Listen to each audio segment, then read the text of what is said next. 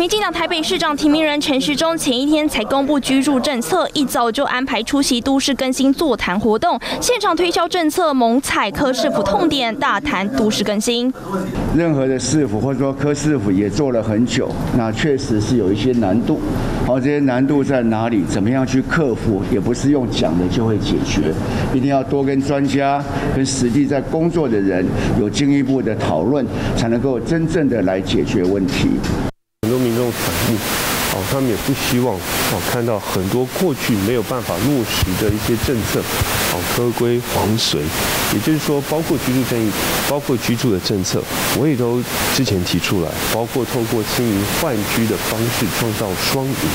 那当时台北市政府他们也出来说，早就在做，而且执行率是零，而我们是化被动为主动，透过公司协力与很多民间团体一起合作。所以要提出证件没有问题，你可以说出现在的执行有哪些问题，或者现在租金，呃，或补贴，或需要哪些调整。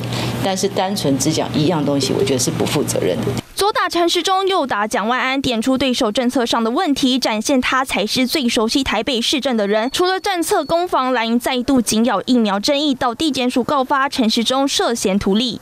其实他们最在乎的，就是对于政治政治人物的诚信。我们看到陈时中却不敢表达反对的意见，到现在一直不愿意公开表达反对的态度。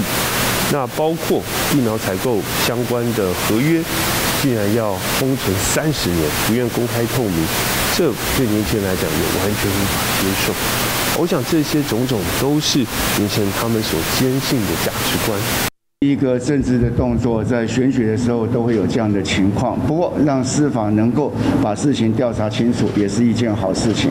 疫苗封存争议，蓝营紧咬不放，陈时中老神在在，就让司法查个水落石出。蓝绿白三方人马各就各位，北市长攻防战火花四射。欢迎新闻宋军宋志颖台北采访报道。请订阅、按赞、分享环宇新闻的 YouTube 频道，并且要开启小铃铛，直接掌握全球时事与最新趋势。